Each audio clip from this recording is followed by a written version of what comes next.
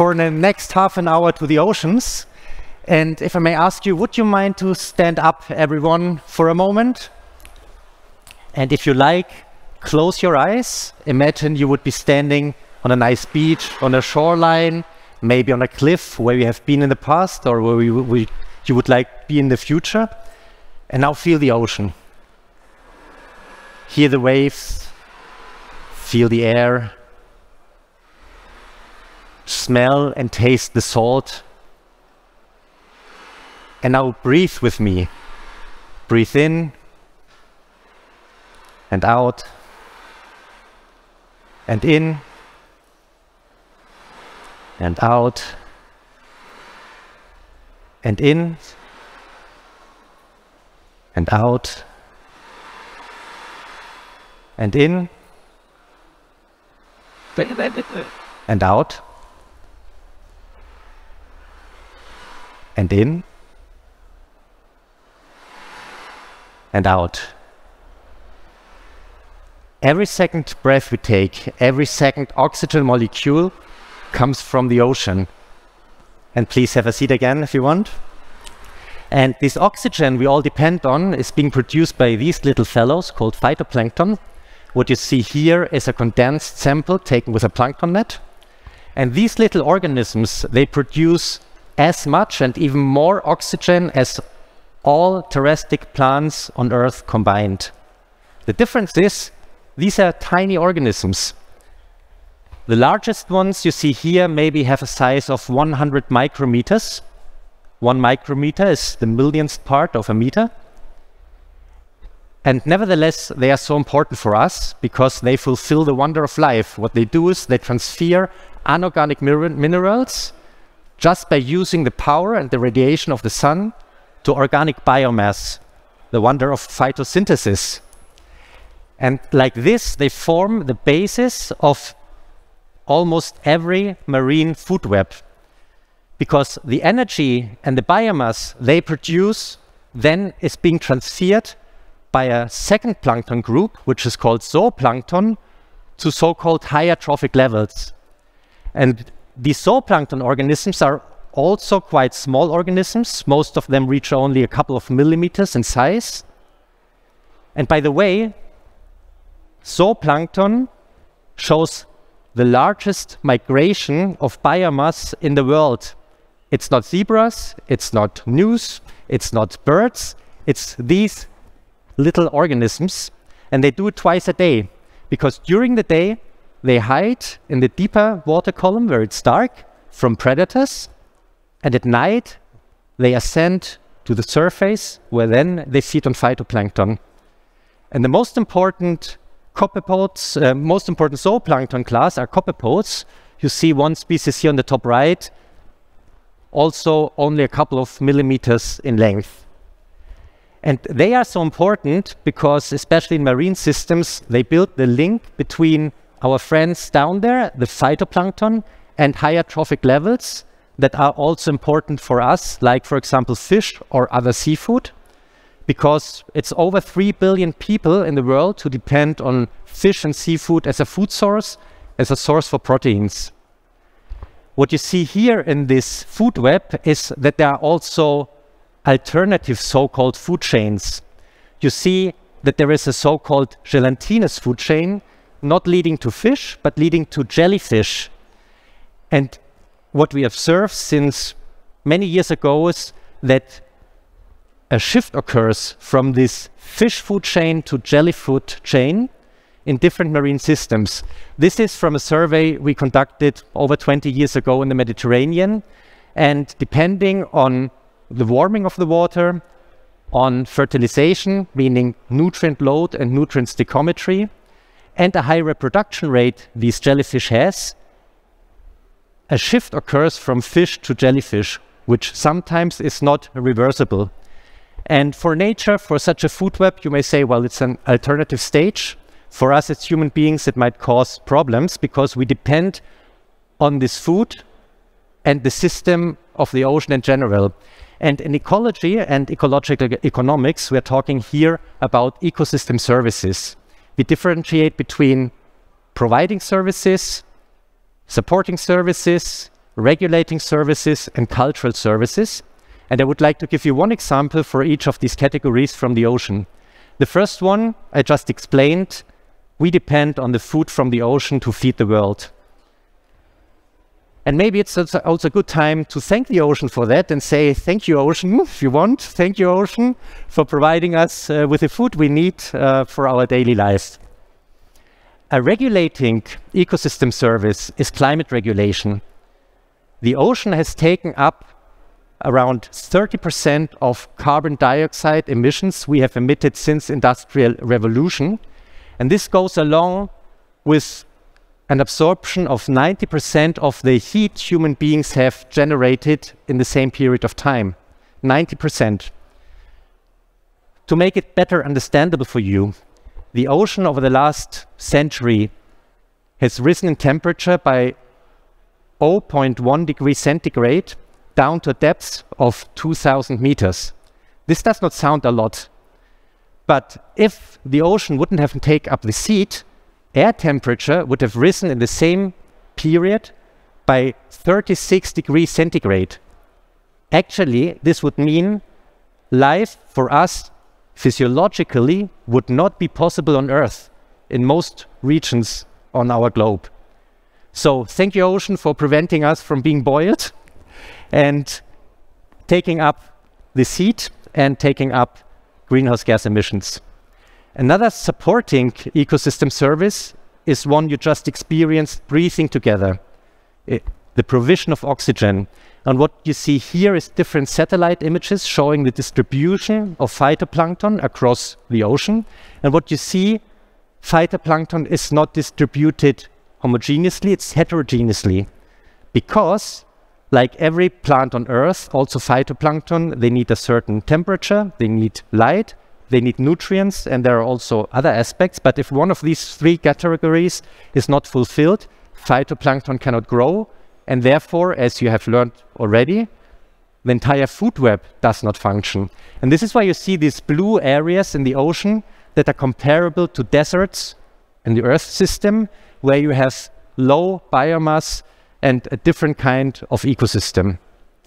And then there is another ecosystem service, a cultural aspect, uh, which includes recreational aspects, spiritual aspects, maybe also artistic aspects important for different kinds of cultures.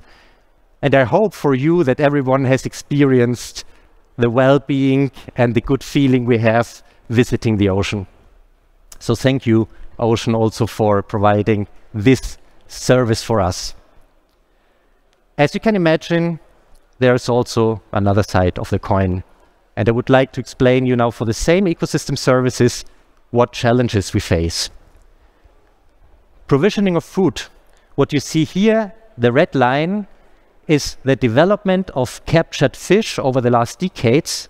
And you see that since the late 80s, we have reached a so-called saturation curve, meaning actually we have overexploited or at least brought to a limit most of the commercially used fish stocks.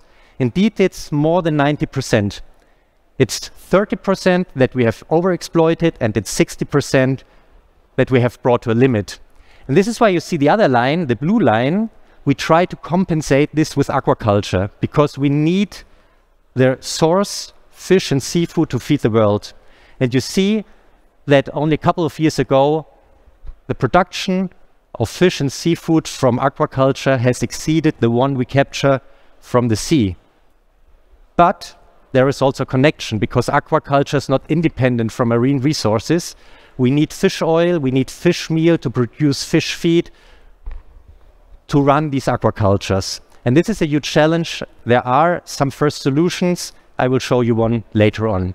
But in this case, unfortunately, we have to say sorry, ocean, that we overexploit these resources, which of course is also a problem for us as human beings. The same is the case when we're talking about climate regulation. The absorption of CO2 and heat also has its price. And what you see here, I suppose, is familiar to most of you coral bleaching. Warm water corals, they live in symbiosis with small algae called zooxanthellae. And once the temperature in the ocean has reached a certain degree, they lose the symbionts, meaning the coral dies. It's still beautiful to see, but it's dead. And we are heading towards a situation once we have reached 1.5 degrees centigrade global warming, we probably will lose most of the coral reefs, the warm water corals. They're also cold water corals, but the warm, uh, warm water coral reefs. And there are also other challenges, like, for example, ocean acidification has risen by 30% over the last decades, like, for example, change of currents, so-called thermohaline circulation, that again influences our weather patterns on Earth. And there are a lot of other challenges that are interrelated. And this is also a challenge to understand how these systems work holistically and what dynamics lie behind. Next challenge, we were talking about how important the production of oxygen is for us. But the ocean has lost, due to global warming, like 2% of the solved oxygen in the water. When water temperature rises, the solubility of oxygen decreases. And this is why we find in the meanwhile a lot of regions in the world that are so-called hypoxic or anoxic regions, uh, regions meaning O2 concentrations are so low that, for example, in the red and purple areas, even fish cannot exist anymore. And these zones, some call them dead zones, are rising. So this is another issue related to global warming, but it's also related, for example, to over-fertilization, to exceeded influence of nutrient load and nutrient stoichiometry. So sorry, ocean, again, what we do here. And again, it's also a problem for us. And talking about cultural ecosystem services, we also over-exceed here in many cases. This is an example for so-called over-tourism that is harmful not only for the ocean, but also for other systems. And I suppose this is not really relaxing anymore also to, to be here in such a setting. So what I asked myself over the last years and decades always is why do we act like we do? Because I think it's important to understand the background, the rationale behind to find also approaches for solutions. And I would like to share a couple of thoughts I have on this. And the list I will show you now, it's an open list. It's not complete, but maybe it gives us some inspiration because as I said, once you understand what the challenges are, you can also start to find solutions. So reasons for mismanagement and overexploitation, like we've seen at the moment, include a biased economic system. So maybe some of you have heard of the tragedy of the commons and externalities we have not internalized in our economic system, coming along with misleading subsidies and taxation. And this again an example from fisheries most people don't realize the fish in the ocean is for free. It has no price. What fishers pay for is the so-called fishing effort. You need a vessel, you need the gear, you need stuff, you need to market what you've caught, but the fish is for free. It does not, has no value in differentiation, for example, to aquaculture.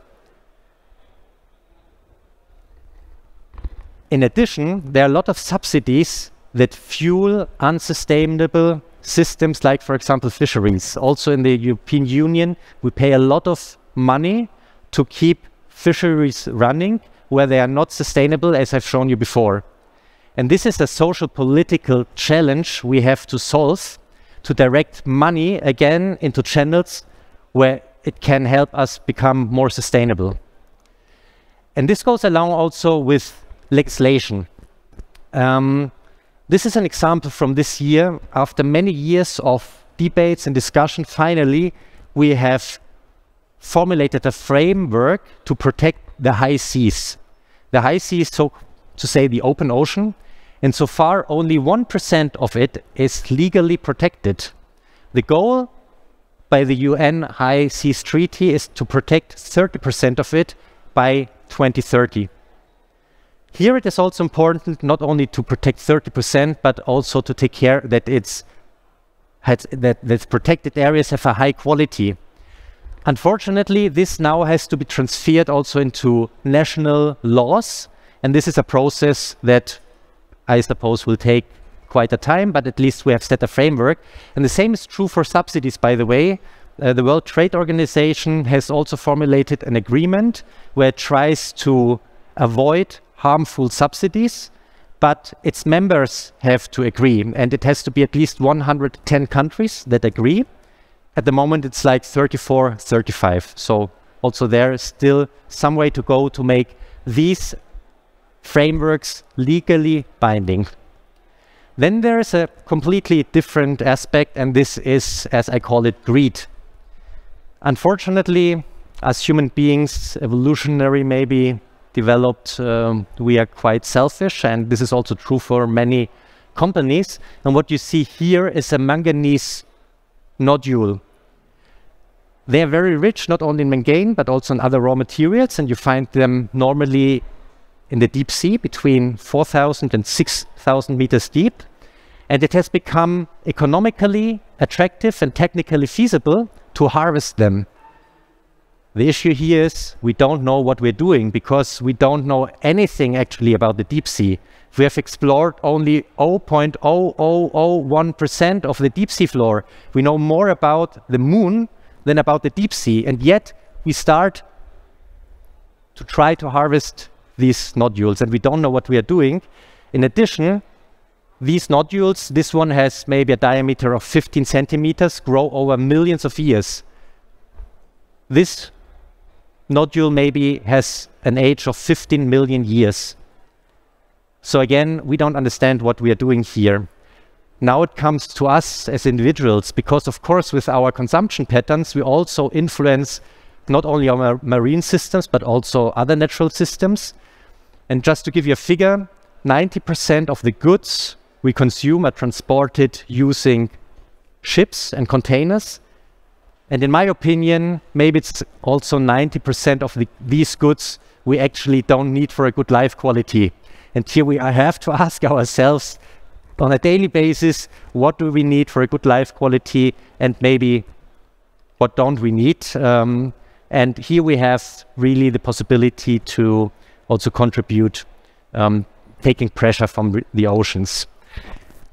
Another aspect is, from my experience, that many of us have lost the connection to the ocean, even though we come from the ocean, and that we have a biased focus.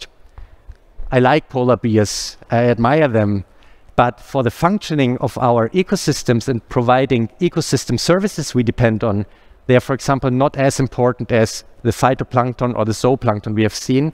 And we have to start to understand how these systems work and what is important to protect and what options we have to use the system sustainably. And sometimes hybris comes here along. We think we understand things, but we don't. And I explained to you before that we have a lack of understanding. I explained you about the deep sea. The same is true for the open waters. 95% of the open sea we have not explored yet of around 200,000 seamounts ex that exist, we have explored only like 35 to 40. So we need more knowledge and more understanding. And our possibilities, technically spoken, have developed. You see here famous ship Polarstern.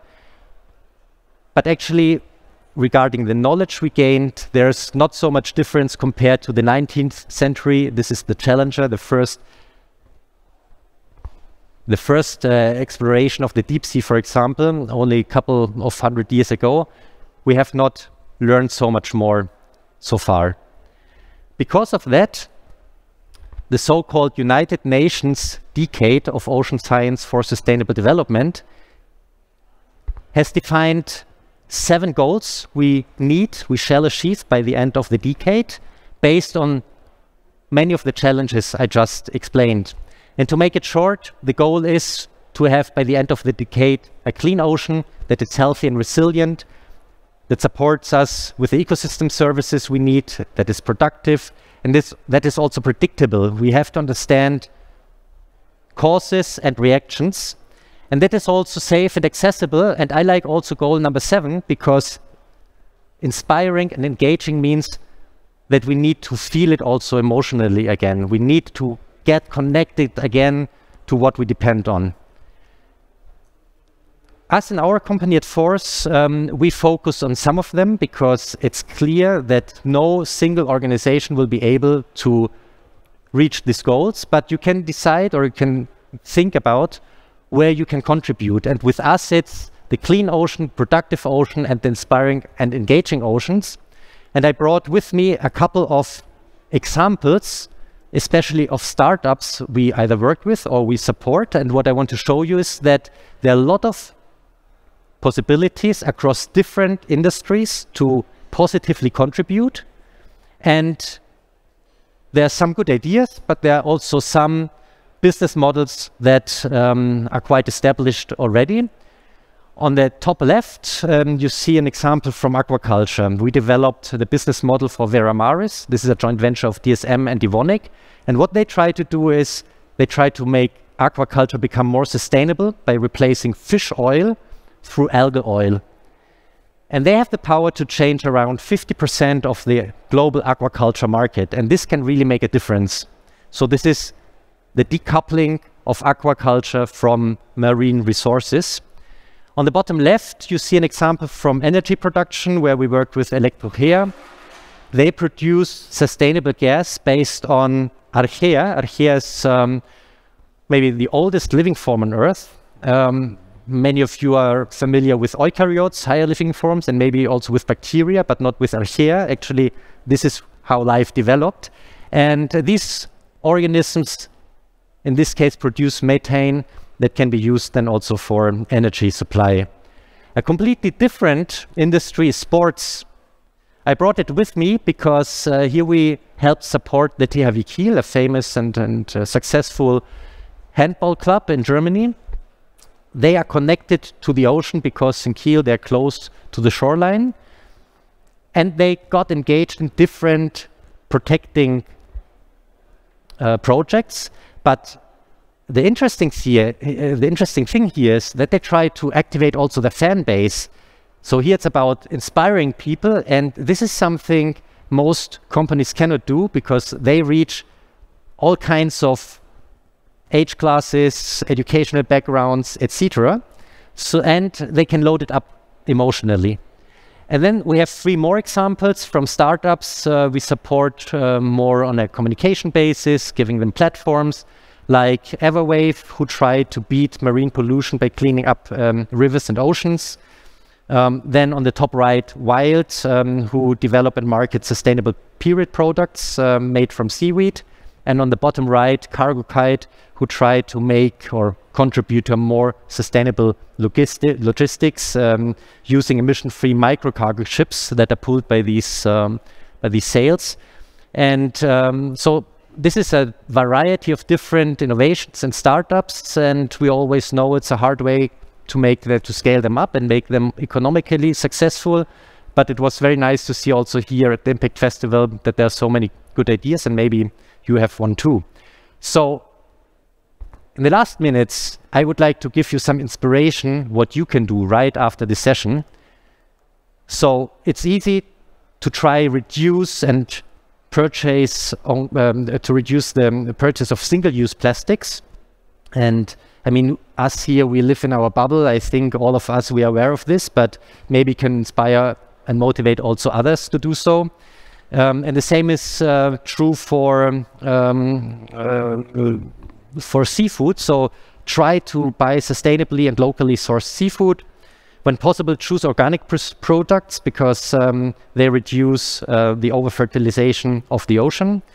Leave nothing behind. This should be self-explaining when you visit the sea. Minimize your carbon footprint, educate yourself and others, inspire them, encourage effective ocean policy, support ocean-friendly business practices, participate in and uh, organize, for example, beach cleanups. You can do it also at rivers and lakes support marine protected areas. This is very important because we need this network of protected areas, as explained before.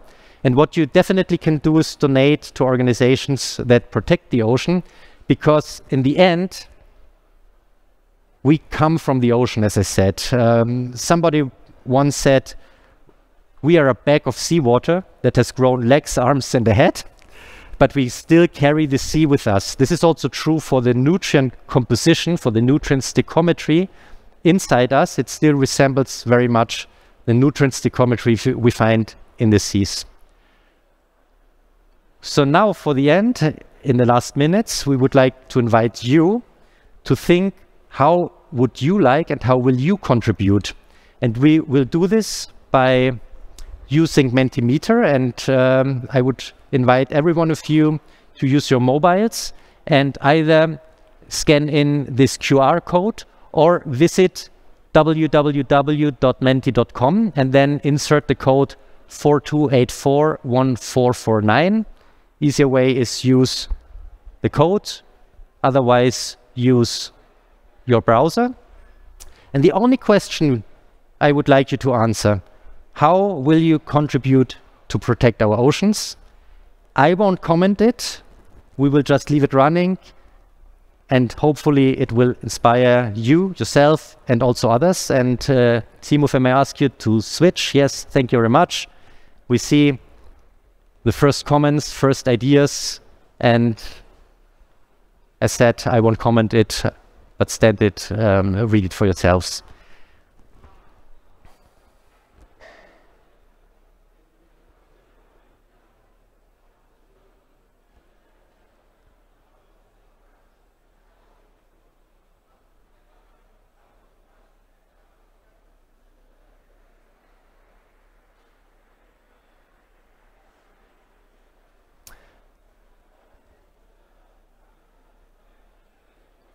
So thank you very much for your ideas, for your commitment, and have a nice afternoon and create positive impact.